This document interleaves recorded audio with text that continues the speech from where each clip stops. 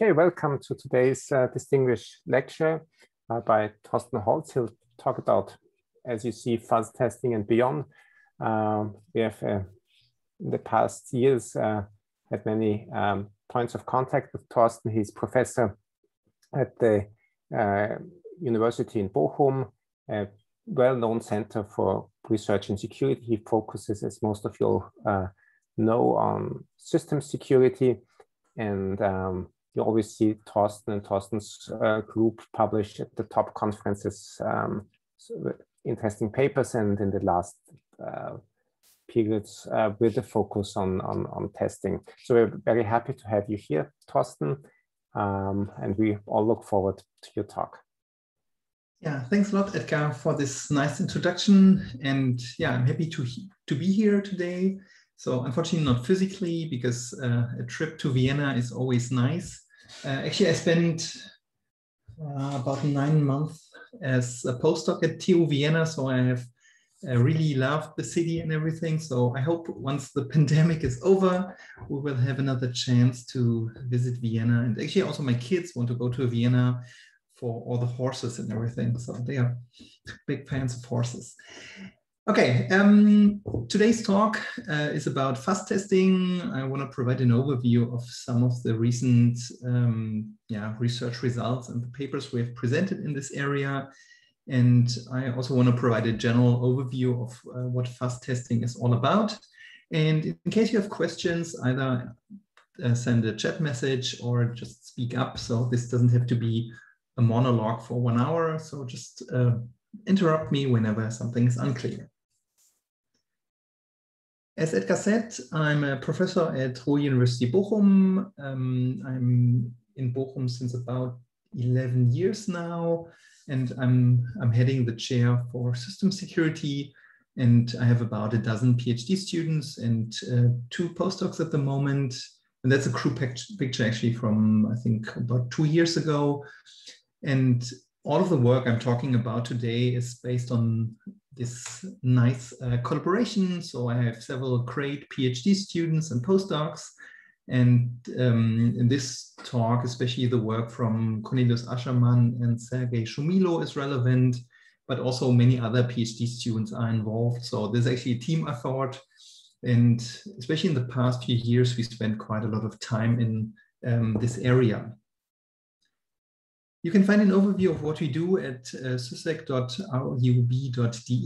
where you find also a copy of all of our papers. And on GitHub, we have most of the projects we did uh, in source code. So in case you want to build upon our work or want to extend it or try to replicate it, feel free to reach out and we're happy to provide access to the code. And as I said, the papers are available online this is a, yeah, a, short summary of what we've uh, published recently. As Edgar said, we are quite active in that space. And as you see, uh, one of the main topics or main uh, words we have used recently is actually fuzzing.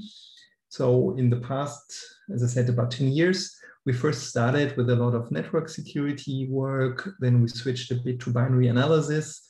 And especially in the past two or three years, we had uh, quite a lot of uh, work in the area of fuzzing.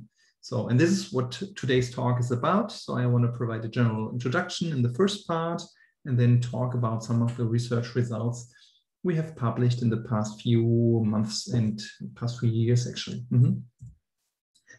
So first, uh, a general overview. Uh, fuzzing um, is an artificial word combining um, basically are describing a me mechanism to test a given system. So the system here on the right, this can be either a program, so some kind of user space program like a word, like a word processor, a web browser, a JavaScript engine, or some other program that runs in user space.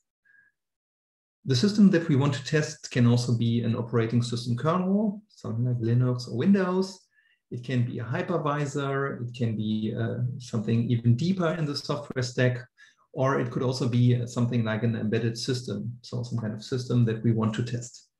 So on the right hand here, we have the system under test, which we want to analyze for potential vulnerabilities.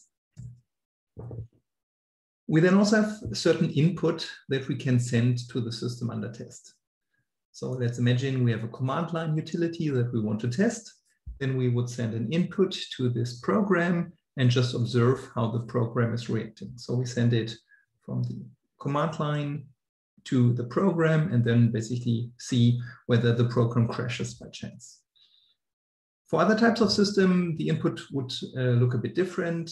Let's say we have a web server that we want to test, then we would send an HTTP request to the system. If it's an SSL library, we would uh, send some kind of message that triggers, for example, a key establishment uh, process. If it's an embedded system, we could use one of the different interfaces and send some kind of input to the system that we want to test. And the basic idea of fuzzing is that we do this um, input, or we provide this input to the system and then observe what's happening. Of course, in a typical setting, nothing interesting will happen. So the system will not crash, but it will somehow process the input that we send to the system. But then here, the trick is that we introduce some kind of randomness. So we basically mutate the message that we send to the system. For example, we could induce some kind of bit flip. So we turn a zero into one or one into zero, and then send the mutated message again to the system that we want to test. We could also perform other kinds of mutations. For example, we could add some random input at the end of the uh, whole message we could cut out some uh, of the input in the middle. We could um, reformat the message in a, we have some other rules. So basically we have some several mutation strategies in order to mutate the input that we send to the system. Still, this sounds that this is not really that effective. So you basically send random inputs to program and expect that you find something interesting. Hmm, this sounds a bit naive at the beginning, and so the surprising idea is that this actually works pretty well in practice. And this especially works because we can do this in parallel. We can do this on a massive scale. And you can think of this as this horde of monkeys that have typewriters. And eventually one of the typewriters will write a Shakespeare uh, text. So basically by doing this many, many times and with clever mutations, we can eventually find interesting um, inputs that will actually lead to a crash. And then we have found some kind of security vulnerability. If we teach this to our students, uh, they also uh, love this basic idea. We had some students in the past that basically then just took some fuzzers, applied them to some software tools, um, and found interesting types of crashes in, in even yeah, some very relevant types of programs. So in practice, this uh, simple idea actually works, and I'll explain a bit more why this works so effectively in practice. The basic idea is rather old. So if you take a look uh, back in the 60s, 70s, people uh, used uh, even punch, ca uh, punch cards with random uh, programs and used this random inputs to test the system. And then this term fuzzing was coined by Miller in a paper Actually, that was a first semester project that he gave to his students because he observed that by randomly sending input to a command line utility, he was able to induce crashes. So as a term project for his students, he gave them the task to do this in a more systematic way. And then eventually this term fuzzing uh, came up. And especially in the past few years, this whole area has received quite a lot of attention. So if you take a look at the major security and also software engineering conferences, you will see that there's quite an active um, group of people working in this space. I already talked about uh, or a bit about the uh, efficiency or why this works. And this was also one of the lessons learned. So uh, back in 2016, 2017, Robert, one of my PhD students back then, um, he had finished a project on code reuse uh, attacks. So this was back when we did lots of uh, software exploitation research. And then we were brainstorming about the next uh, project we wanted to work on. And back then, uh, Robert proposed to uh, work on fuzzing because he's he was into software security and finding vulnerabilities. And uh, fuzzing was actually well explored So these, this was my understanding back then. So we had some discussions, but then at the end we agreed that fuzzing is probably not a good topic to work on, given that Microsoft and other companies had already invested uh, quite a lot of effort into this area. And then also uh, many papers were published.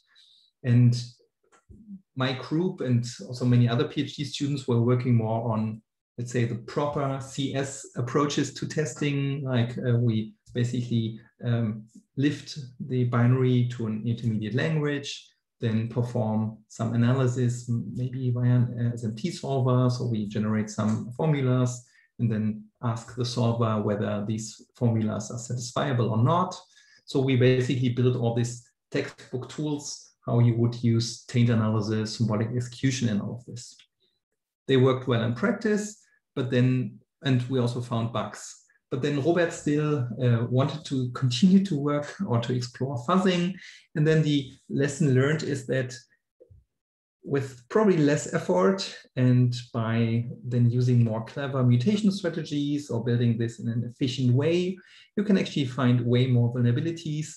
And the, the lesson learned is a bit that sometimes this textbook thing and also the advice that you get from your PhD advisor is something you should not follow because nowadays I have four or five PhD students just working on fuzzing. And yeah, back then I should have listened to my PhD student that we would have started this whole area earlier. So lesson learned, uh, also professors are wrong at some point. Mm -hmm. Okay, coming back to why fuzzing works, uh, one of the things is efficiency. Because imagine that you can send 50 inputs to the system that you want to test. And then if you do a bit math, you see that you can do more than 4 million different kinds of inputs per day.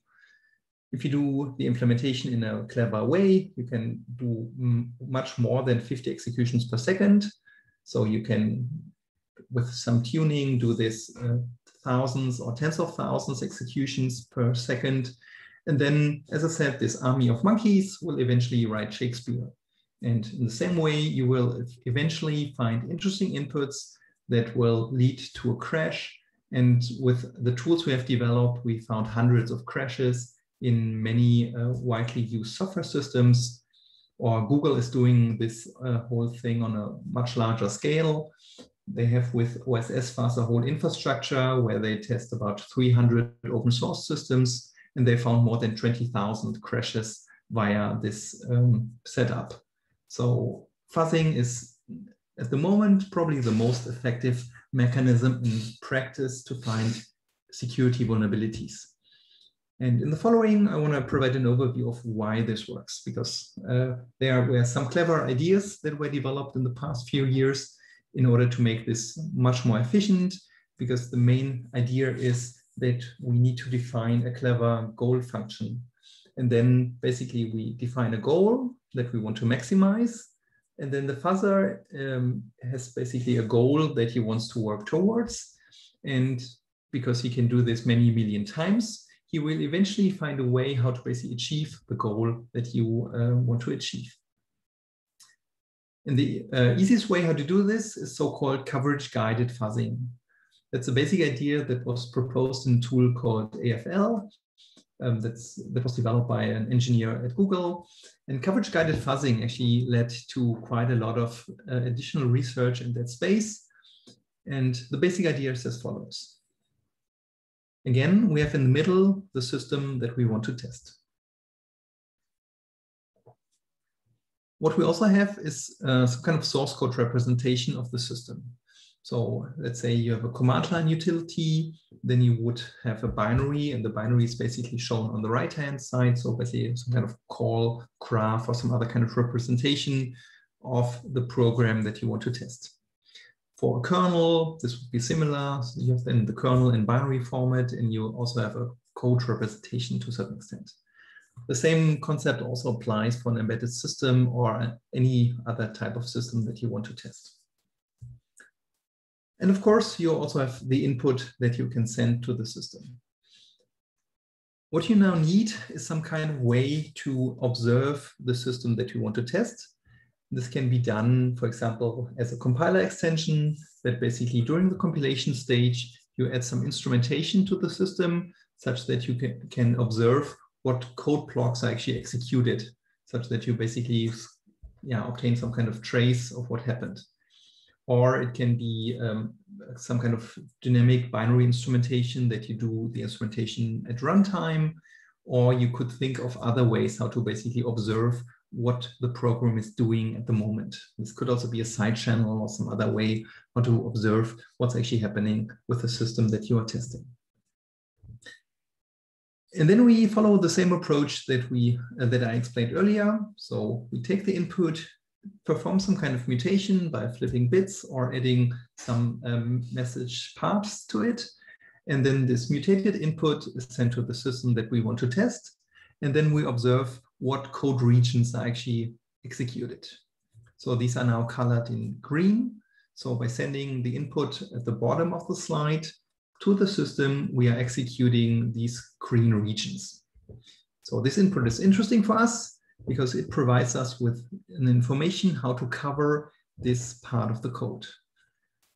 And coverage guided fuzzing uh, has the goal of maximizing the code coverage. So we want to mutate the inputs such that we maximize the code coverage with the intent that when we are able to reach a specific part deep in uh, inside the program, we already have an input that passes all the conditions to get there.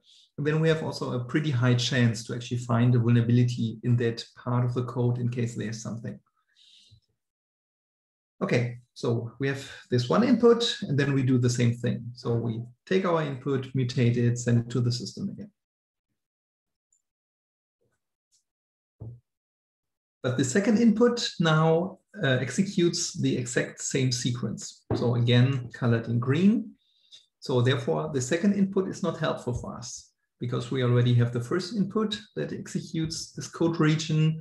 So therefore, we can throw away the second mutated input because it doesn't provide us any new information, any kind of new knowledge, because we have already achieved the coverage via the uh, input on the bottom. In a third step, we again perform a random mutation. Send this mutated input to the system under test. And then we see suddenly we uh, execute another region, maybe another if um, clause was taken. So basically we have a, another region executed. So this um, third input is then interesting for us because it helps us to uh, cover an additional part of the program. And now the combination of the uh, input at the top and at the bottom of the slide already provides us with everything colored in orange. So we can already cover quite a lot of the whole code. And by doing this in an iterative way, so we again mutate these inputs and then to the system, observe what we are covering, we can over time maximize code coverage or branches taken or some other metric that we basically give the fuzzer to optimize. AFL and other fuzzers uh, use a bitmap to have a, a, compact representation of what edges of the binary are already taken. So instead of having a complex uh, data structure that keeps track of uh, all the branches in the program and then marking which branches are taken in which order, we have a, a compact representation that basically only tells us if a specific branch has ever been taken. So basically we're losing some information but therefore the bitmap is a very compact representation of the uh, branches we have seen so far. But note that the bitmap is, as I said, some kind of abstraction. So uh, basically from an entry in the bitmap, we do not know what branch this was exactly, but it's basically just a compressed version. And we're coming back to this later because that was one of the papers we uh, worked on. Mm -hmm. And then what we, or the open challenges in that space are then how to basically reach deep parts of the code or um, many uh, real world programs use some kind of code constructs that are hard to overcome. Maybe they use some kind of checksum or they uh, expect some kind of pre-formatted um, input. And then of course, if you send random input to your program, it's pretty hard to basically get complex conditions. And this is where many papers and many research groups are focusing on. So how can we actually find interesting inputs that yeah, lead us to interesting regions within the program and can then detect security vulnerabilities. So, fuzzing challenges. Um, I'm, I want to start with one of the earlier papers we did in that space because this was one of our starting points where we took a look at uh, the existing state of the artworks and then we um, checked what kind of code constructs are hard for them to solve. And typical examples that we found where the fuzzer was not able to actually detect a vulnerability are here in, in a bit abstracted way shown on the slide. The first part is a, a magic number example. So you can think of this as, let's say you have a parser that takes as input um, a specific file and then first checks whether the first few bytes uh, match a specific um, magic number and this magic number specifies that this is a file of a specific type. So, and then you can imagine if, let's say, the input uh, is expected to start with this magic header uh, string, then of course, if you just send random inputs to the program, your chance that you exactly guess this string is almost zero. Because if you just flip bits or if you just add something to your message, then the chance that you uh, generate, especially this string, is rather small. Another example that we found uh, occurring in the wild quite often are checksums, and checksums can also be nested. So here on the slide, you see uh, one example. If you take a look at this, you will eventually figure out how the input will look like. But even if you take a look at this uh, for 30 seconds, it's probably not that easy to see how the input needs to be structured. And then imagine you need to basically just send random inputs to this uh, checksum computation function. The uh, chance that you um, generate an input that passes all three if checks is rather small. So reaching this bug two is actually yeah almost negligible because you would need to generate uh, specifically this input string. Mm -hmm.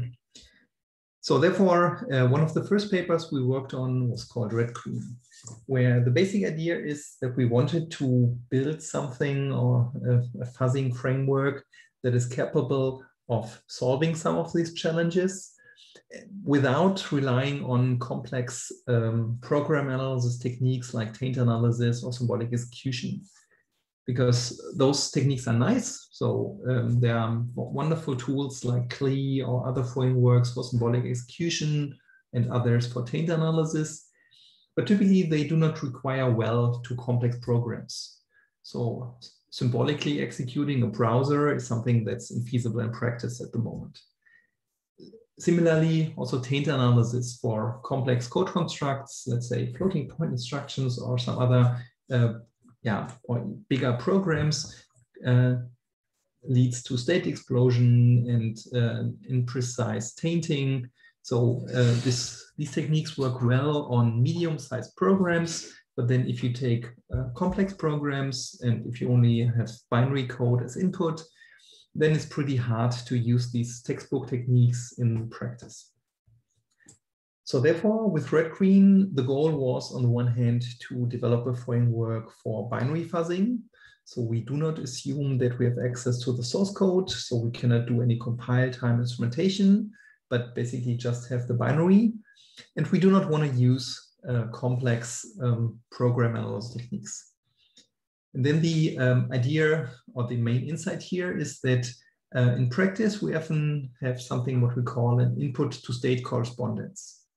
So you send a specific input to the system that you want to test.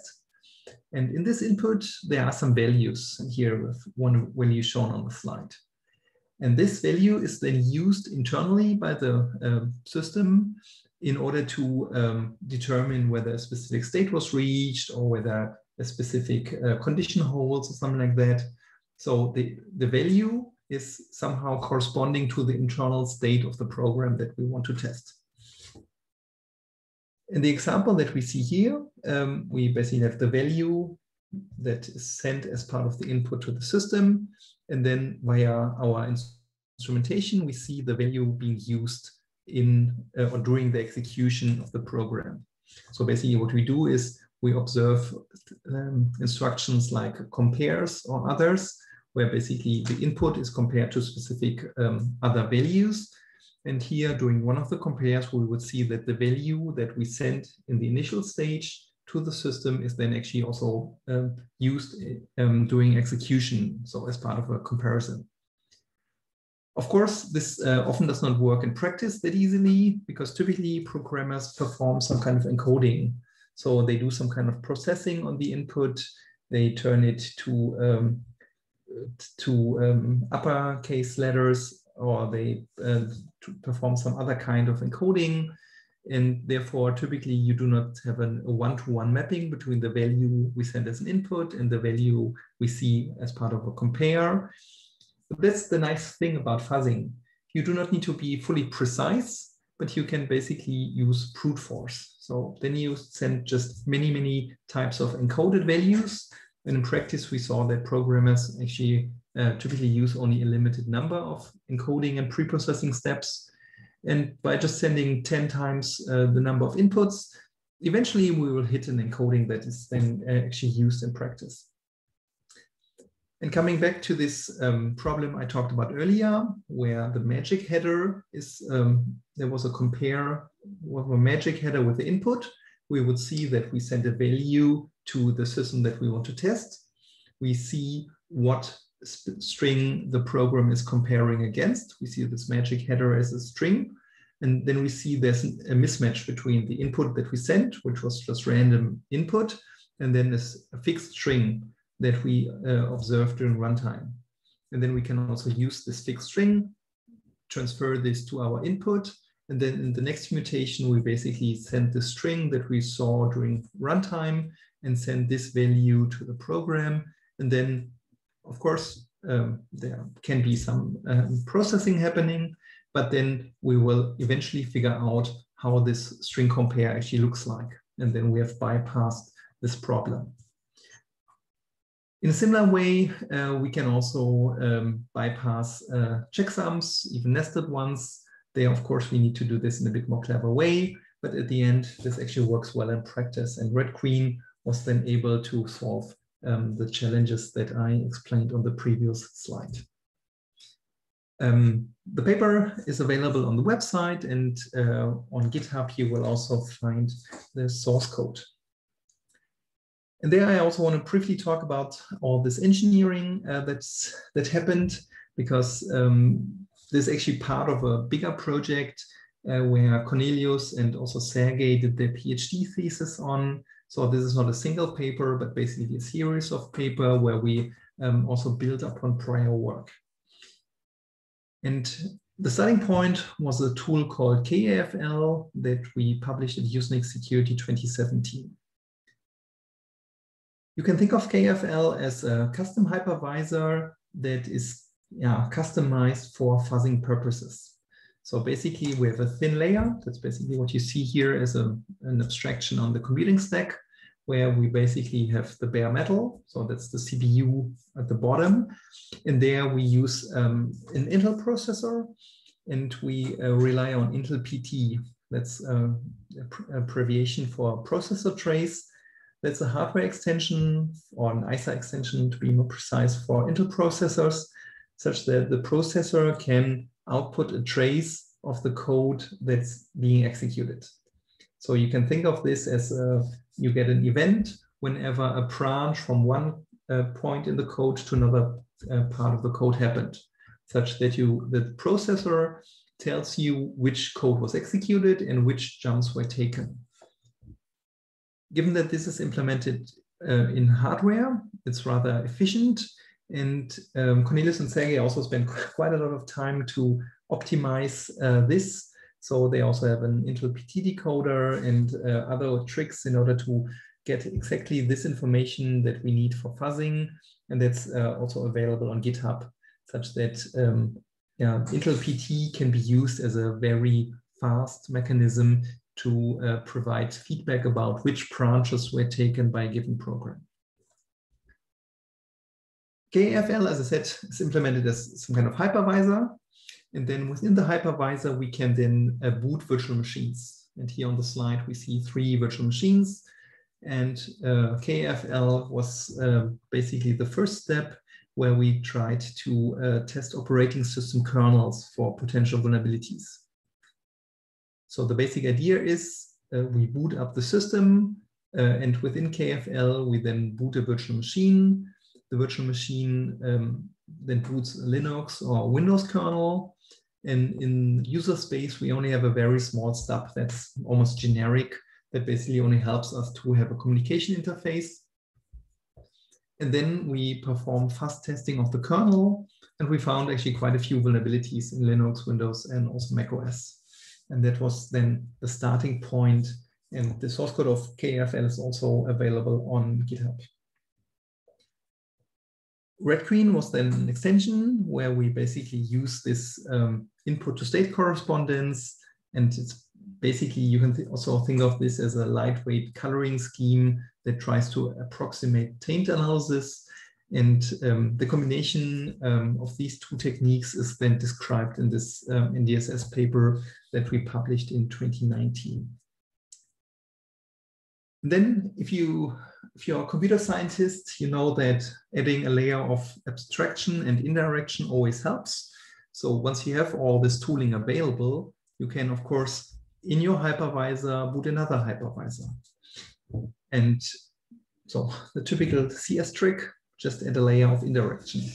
And this is what we did with Hypercube, at least to a certain extent. I'll explain this in a bit more detail on the next slide. So uh, there the goal was um, not to test operating system kernels, but to test uh, hypervisor implementations themselves. So we have our infrastructure that helps us to basically do fuzzing in a rather generic way. And within our hypervisor, we can then boot another hypervisor that we want to test. And in this nested hypervisor, we then boot an operating system. And then this operating system talks to the uh, hypervisor on the lower level. And then we can stress test the hypervisor that we uh, have in the nested configuration. And this is uh, Hypercube. And that's a paper we published uh, in 2020 at NDSS. Mm -hmm. On a bit more abstract level, and not with this uh, stack um, lay layout that I showed on the previous slide, uh, Hypercube works as follows. So we have the host, and the host is basically just a, yeah, a physical machine.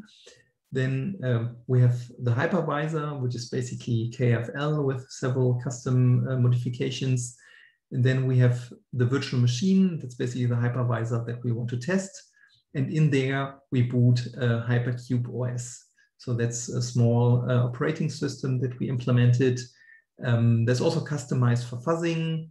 And you see that there's actually quite a lot of engineering going on if we build our own operating system and then um, our own interpreter, our own uh, decompiler. So um, Sergej actually, it was an insane amount of engineering effort with uh, ranging from low level details, so interacting with Intel PT, up to building an operating system and an interpreter. So this is basically full stack development that uh, Sergej and Cornelius did there.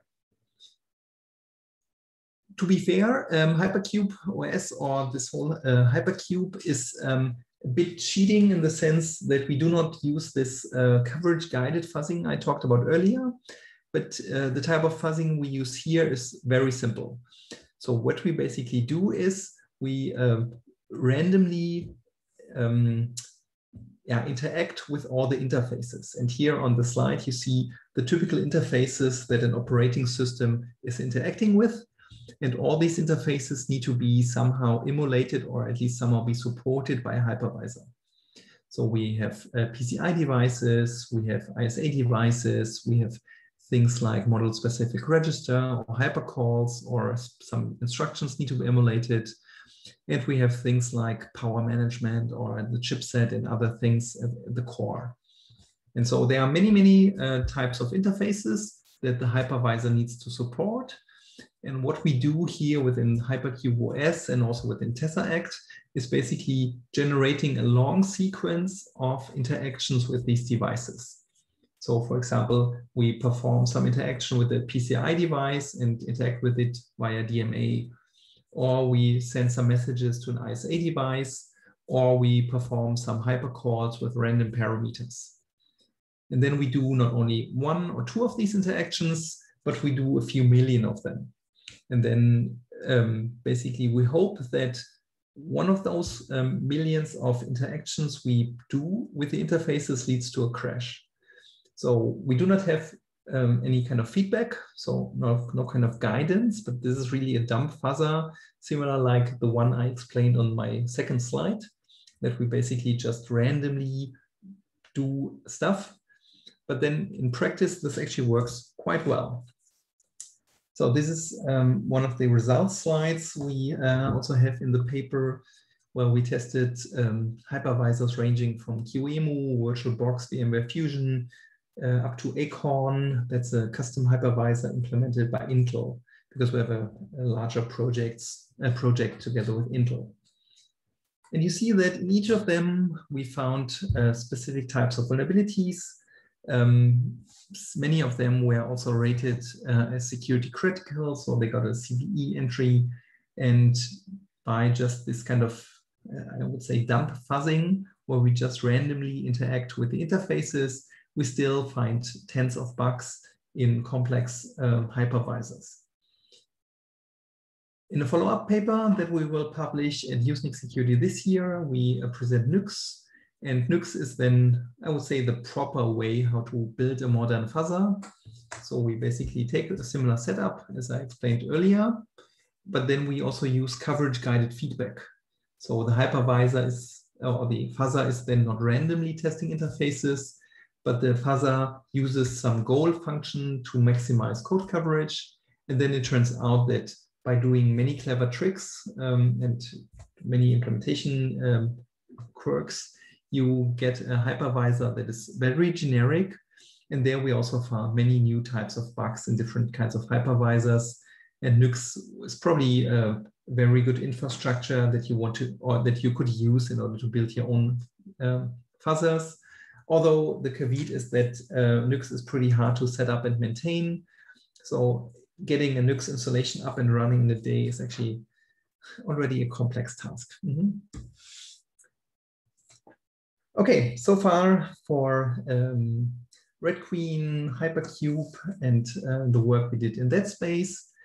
And then I want to talk in the next few minutes um, about one specific um, project that uh, actually is probably the best demo that we ever did. So, but I'll show this in a few minutes.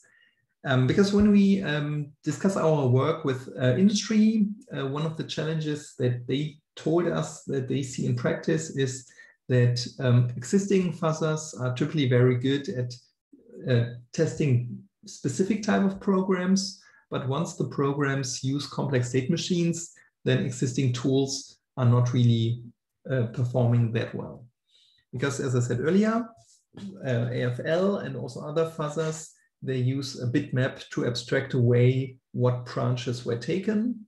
So I do not keep a full trace of all the branches and the order of branches because this would uh, be way too slow. Then I cannot do my hundreds of executions per second but all the state keeping would be very expensive.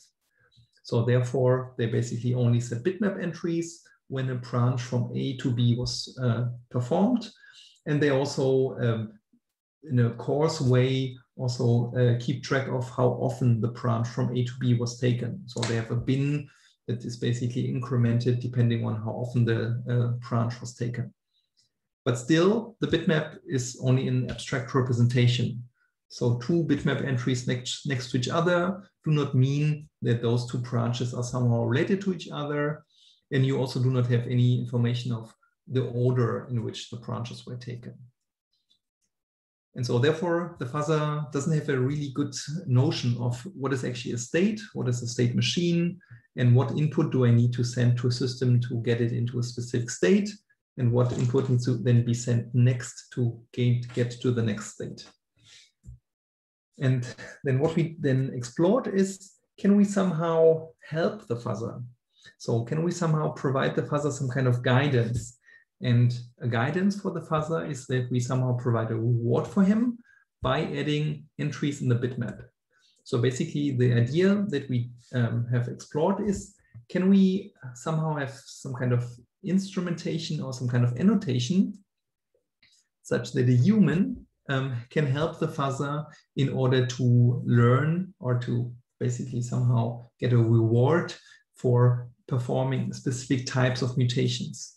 Because it turns out that we as a human, we're pretty good at spotting a state machine by basically exploring the, um, the source code, we would see, okay, here is some kind of uh, jump table or something like that. Or in another part of the program, we would see that specific states are followed um, next to each other or something like that. So what we explored here was, can we somehow have a human in the loop approach where an analyst, so this could be someone like a pen tester, basically has a, a kind of um, annotation mechanism where he can guide the fuzzer to produce specific inputs or to produce specific type of mutations. And this is what we call IJON, and I quickly want to show how this looks like. Mm -hmm. um, one of the challenges uh, we had was uh, libtpms, which is a software implementation of a, a TPM, so a trusted platform module, um, actually has a quite complex state machine because you need to send a sequence of messages to bring the TPM into a specific state, and only then you can do interesting things. And if you perform fuzz testing of libtpms with AFL, you see that it um, detects some states, but actually not too many, and especially um, complex states. So where you need to send a specific sequence of events is something uh, AFL can not find even after fuzzing for several days. Then with our annotations, um, the picture changes a bit. So what we do here is um, we um, have a small annotation and in the paper we describe a set of about 10 different instrumentations. And you can think of an instrumentation as something like a small primitive that basically tells the fuzzer, okay, if you reach this state, we set a specific uh, um, entry in the bitmap. And this is then some kind of reward for the fuzzer that basically more bitmap entries are created. So the fuzzer then tries to optimize towards this direction. Or you could also have other annotations that um, basically um, tell the fuzzer, okay, try to maximize a specific value in this, uh, or the, try to maximize this value, try to minimize this value, try to bring this value to specific um, um, state or something like that.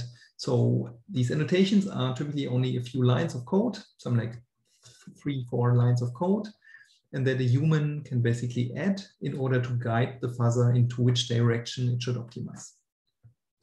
And this works in practice. And in order to visualize this, um,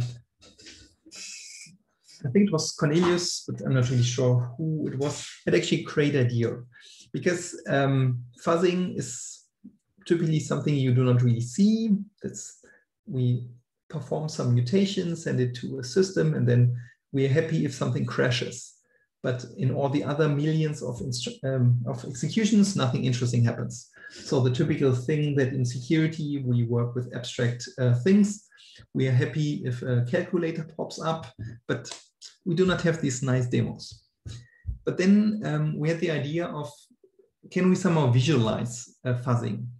And then um, here, Super Mario, probably many of you know the game, because in a certain way you can think of Mario as a prime example of what we want to do.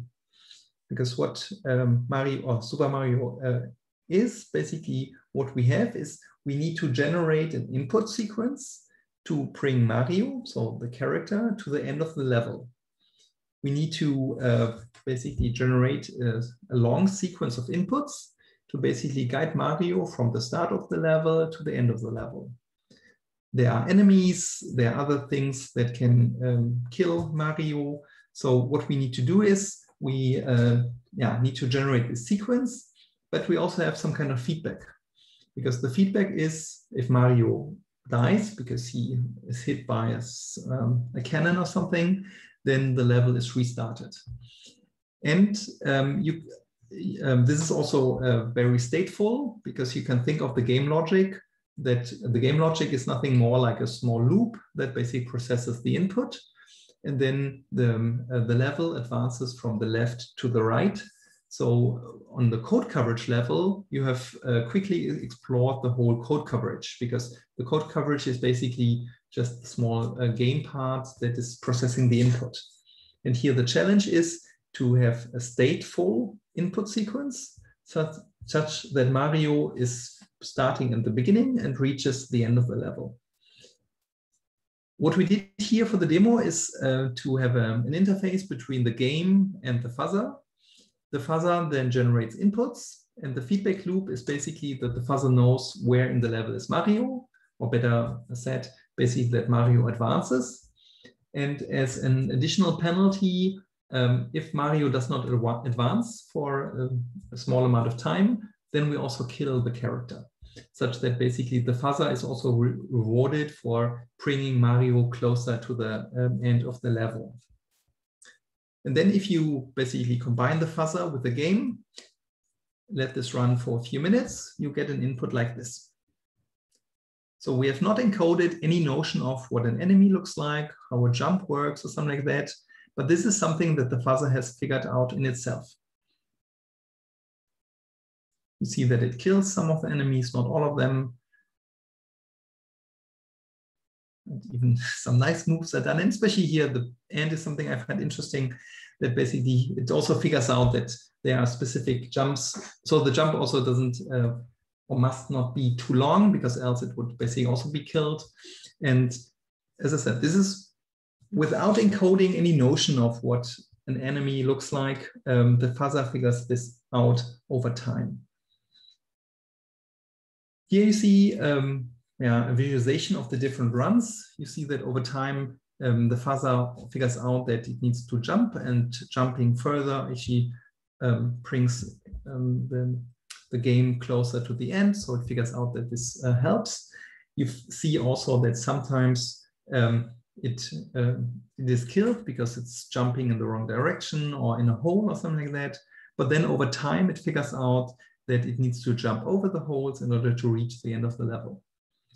And um, so this is a demo. We also have um, all the videos online for all the levels. We can uh, solve almost all of the levels except I think two. For some of the levels, we also find speed runs that basically use glitches uh, in the game engine so that we are faster. And um, as I said, without encoding any kind of input. So it's not specific to the game. But also keep in mind, this only works because the game is de de uh, deterministic. So if the enemies would spawn at random places, this would not work. But here it works because they uh, deterministically spawn exactly at the same time, at the same space. And what we basically generate is an optimal sequence, or at least a near optimal input sequence to bring Mario from the beginning of the level to the end. And yeah, if you want to see uh, movies of the other levels, uh, take a look at GitHub. There we have uploaded uh, all of them. And then as the last part of today's talk, um, I want to talk about another Usenix paper we published in 2019, because yeah, in this typical game in security between offense and defense, we also um, did an, a more defensive paper uh, called Antifuzz, where the main uh, intuition is that um, we wanted to explore what are the limitations of current fuzzing techniques. Because as I said earlier, fuzzing is very effective in uh, practice. OSS Fuzz found more than 20,000 crashes in open source uh, programs. So this seems to be very efficient in practice. But still, uh, many of the things or many of the crashes we find are memory corruption vulnerabilities, or other things that are easy to detect because the program crashes. So what are actually the hard challenges? What are ways that current fuzzers cannot really overcome? Or how can we build a protection mechanism to protect a binary executable against fuzzing efforts? So the use case uh, we have here, or it's similar like a DRM mechanism, so you can think of this, you are, you are a software company, you perform your software engineering internally. So you develop your program, you do the testing internally to find vulnerabilities early on. And then at some point you decide that you want to ship your program to the customer. So you ship a binary executable to the customer, but you do not want that other, other external people uh, try to find vulnerabilities in an efficient way. And so what we do is we harden the binary against uh, automated fuzzing, such that we basically add a few mechanisms during the compilation phase, such that the resulting binary is hardened against automated software testing, such that when you ship something that an attacker cannot easily take this binary, uses um, a stock fuzzer and find vulnerabilities in your code. Internally, of course, you have access to the source code, you can compile it differently, perform all the testing that you want, but only the binary that you're shipping is hardened. And as part of this, uh, we also uh, analyzed about 20 existing fuzzing frameworks and found that they rely on several and only uh, four basic assumptions.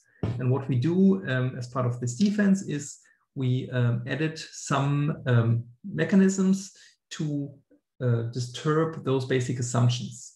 Basically, we found that um, they, for example, rely on something like symbolic execution or an efficient way to detect crashes.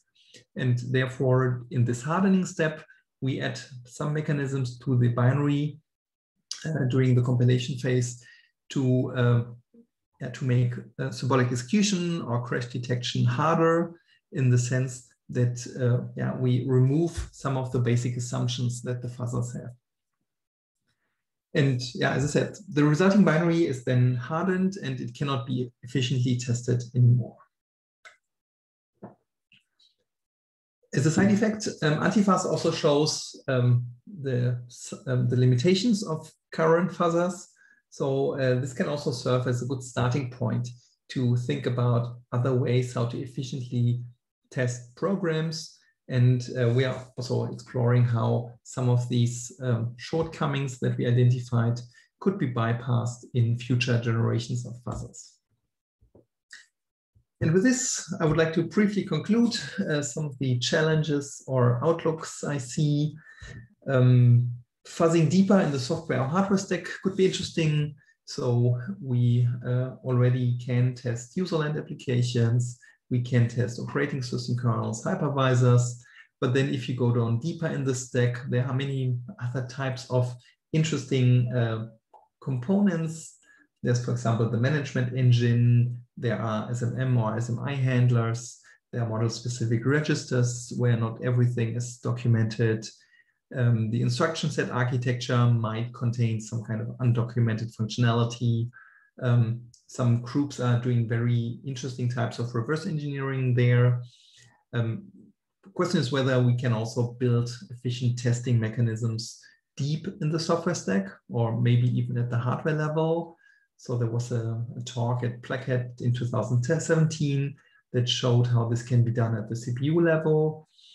Um, on the other hand, you can also go higher in uh, things like um, compilers or especially just-in-time compilers that are challenging to test in practice. So um, there are many different types of system systems that you can analyze and basically use all these frameworks or the algorithms that have been developed in the recent past to apply them yeah, in different la layers of the of software or hardware stack. Then a question that um, I always ask my students or that we discuss quite often is, if we execute a program, let's say 10 million times, and then we have another program that we execute 50 million times, and then we have a third program, can we then somehow use the information that we have uh, obtained in the past 60 million executions to have more clever ways how to do our mutations? So can we somehow reuse all the knowledge that we have collected by millions or maybe even billions of executions for the next target. Because at the moment we are starting from scratch. So each new target means we basically start with just zero bytes or maybe even some more clever seeds. But can we somehow use ML or some other statistic analysis techniques to um, help us to guide the fuzzing process more efficiently? One idea that we explored a bit so far was uh, the idea of ensemble fuzzing. So that's uh, similar like you uh, use in ensemble learning. So we have several weak classifiers combine them, and then you get a, a better classifier. So can we also combine several different fuzzing uh, tools, use their uh, strengths, combine them to obtain a, a meta fuzzer that is then uh, outperforming the base fuzzers? The initial results look a bit promising, but there's no really breakthrough yet. So it seems like we haven't found a clever way how to perform ensemble fuzzing such that we have a clear, um, clear performance uh, gain at the end. So still, this is, I think, an area worth exploring. And then um, similar like other areas, I think a better hardware and software support is needed. So a better co-design, that basically the uh, processor somehow supports the testing efforts. So can we, for example, the bitmap, could this be tracked internally in the processor? Because then everything would be way more efficient.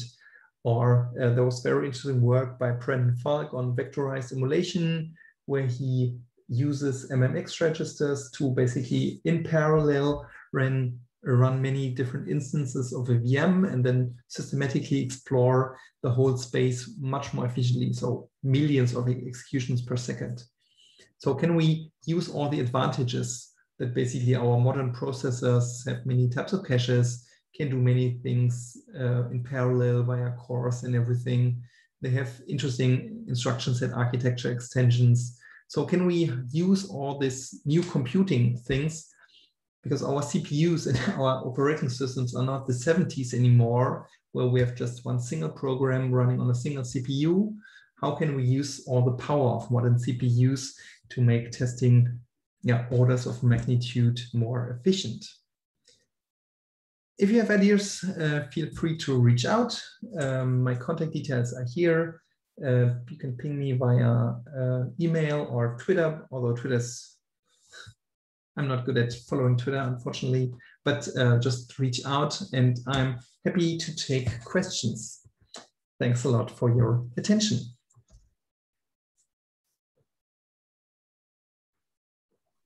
Thank you for the presentation. Um, let's see if there are any questions. Um,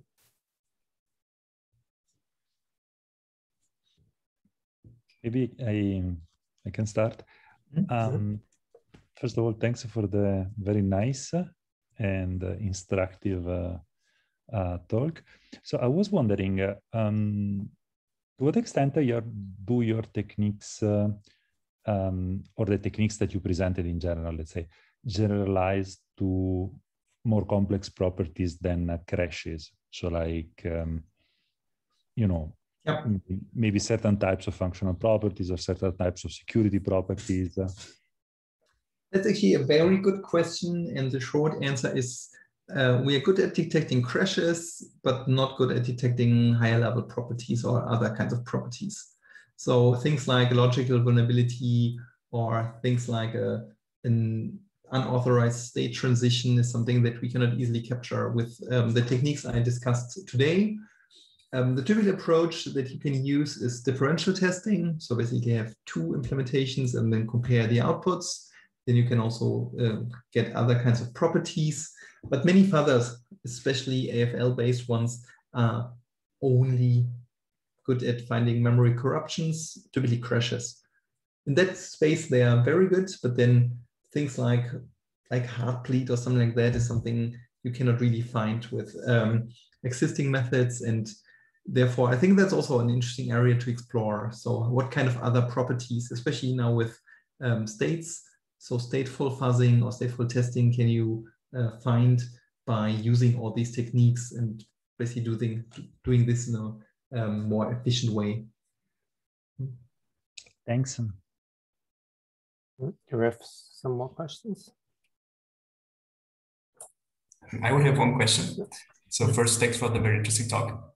And I would be interested in how long do you typically fuzz a program? So is there a point where you say, I it enough, now I stop? Or do you just continue until you run out of resources? Or? Yeah, that's actually also a very good question. Um, so for the papers that we do, there we typically do 24 hour runs and then do this 10 times and uh, basically have a yeah, statistical anal analysis of the results. Um, so these are the typical uh, plots that you basically see on the x-axis. You have the time on the y-axis, things like either um, edges taken or basic blocks executed or the number of bugs found. So basically a metric that basically improves over time. Um, what you see is typically that um, in the first uh, few minutes, first uh, maybe one or two hours, you have a steep increase. But then over time, the increase is getting uh, smaller. And then at some point, you're, it looks like you're flatlining. So the fuzzer doesn't really find something interesting. Um, when you let the program run longer, you will see that uh, there are, and this is then a bit of a random effect, that at some point you your fuzzer will unlock a specific condition. So basically it has tried a few thousand times to generate an input, but every time a specific condition doesn't hold. But then just by chance, it will generate an interesting input. Then you are unlocking a specific condition, and then suddenly you have much more um, code areas that you can then explore. So you see specific jumps that then happen over time. And there was recently um, see two interesting or one or two interesting papers by Marcel Böhme and his group that explored this in more detail. And it turns out that uh, adding resources only helps you to a certain extent because over time it gets uh, much more complicated to find interesting inputs. And therefore, um, a good understanding of how long you need to test your program is still missing. So in the software engineering community, some people are looking into this. Um, and in practice, so what the practitioners tell us or tell me uh, is what they typically do is when they start, let's say, a pen test, they first uh, use um, AFL or some kind of stock uh, fuzzer or AFL++, let it run, and then then they do a, a, manual analysis and then build custom fuzzers that are then custom for the target. And with them, they typically achieve also better coverage. But still, AFL finds all the low-hanging fruits within a few hours or a few days. Great, thanks. Hey, thanks. Um, do we have more questions? Um, yeah. Yep. Uh, hi. Thanks for the talk. Uh, I uh, would be interested in the following. Um, in property-based testing, uh, you sometimes have like this uh, very useful feature that uh, the, the testing engine is able to minimize the example and like, and there, therefore I wanted to ask that like, do you do uh, any any research to minimize the examples or to explain even the uh, the examples to like the the user because like just this input makes the program crash is maybe still uh, from there is maybe still a long way to to get uh, to, to, understand why something happens. Yes, yeah, no, uh, that's also a good point. Um, so in my group, we have not explored this in detail, but there are other papers in the fuzzing space uh, and AFL also has a tool that basically tries to minimize the test case.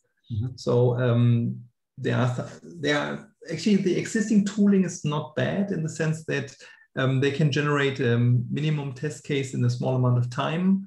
So once you have a crashing input, then this input can yeah can be minimized.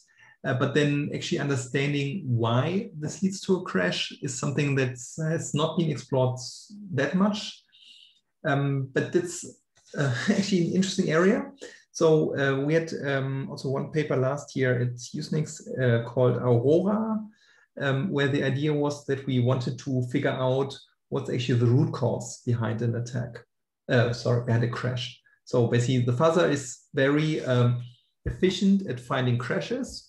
We can, uh, if we have a target, let it run for, let's say a day, we can, let's say 10 or 20, maybe even 50 crashes.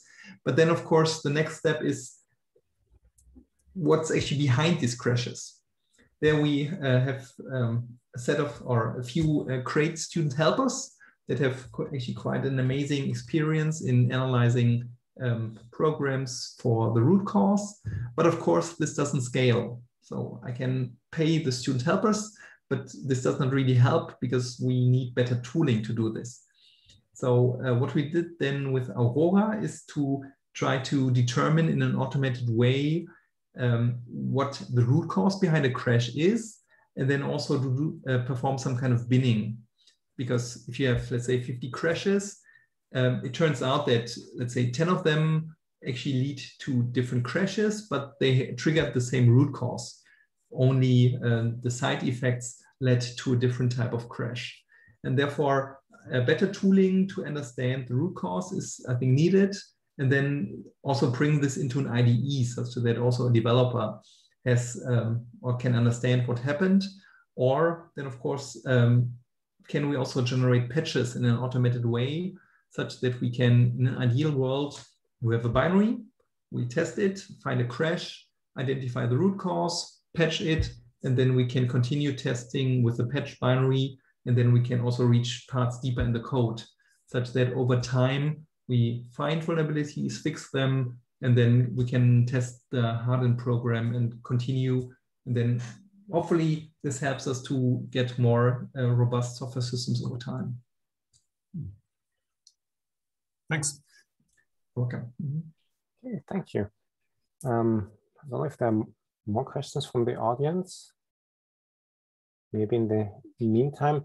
Um, one question is um, if students starting their studies um, listen to this talk, what are the basic um, courses uh, that you would recommend that someone takes uh, to be able to do research or join your group or, or work with other groups that, that work in this area? So what of the basic computer science um, classes that you would see in a typical bachelor or master program um, are the foundation on, on which you build? Mm -hmm. um, I think on the one hand, uh, you need to have a yeah a good system understanding. So basically, uh, you need to know how an operating system works, how you can build system level code. Um, so programming experience definitely helps. And then also uh, understanding assembler code or basically the low level details. So not only a high level language, but also the low level uh, things because um, many of the things cover the full stack, basically ranging from assembler, but also to the algorithmic level that you understand how to efficiently implement things. So it's actually quite a lot of systems building that we do. And therefore, probably um, yeah, you need quite a few courses to understand and to, get a bigger picture um, because yeah, it's so the tools are typically a bit more complex but uh, you also need to be interested in software security. So how do memory corruption vulnerabilities work? What's return-oriented programming and other techniques? And then for the tooling, um, actually AFL++ is a great project where a group of people started to um, take AFL. So basically this, um, this program that started a lot of work in this area. And then they are also re-implementing many uh, academic papers so they are exploring what actually works good in practice, and then they are integrating this into AFL++.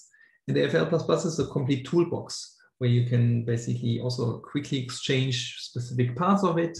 So let's say you want to explore new mutation strategies, or you want to explore other ways how an instrumentation can be performed, or you want to explore another architecture can be supported.